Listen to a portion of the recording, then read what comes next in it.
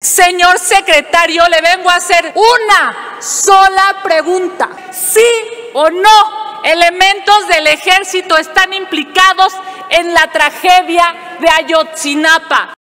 Y para que vea la senadora López Rabadán que yo no voy, no acostumbro a eludir cuestionamientos y no necesita rogarme, por favor, como dijo. No le puedo dar detalles porque me permite y sí, porque yo me comprometí aquí a hablarle con la verdad. Pero de frente le digo, pues una golondrina no hace verano, porque aquí alguien dijo el ejército mexicano y mi cuido. No, elementos del ejército están detenidos, no se preocupe, la verdad se va a saber, como estamos todos los mexicanos pidiendo que se sepa qué pasó en la guardería ABC, por ejemplo.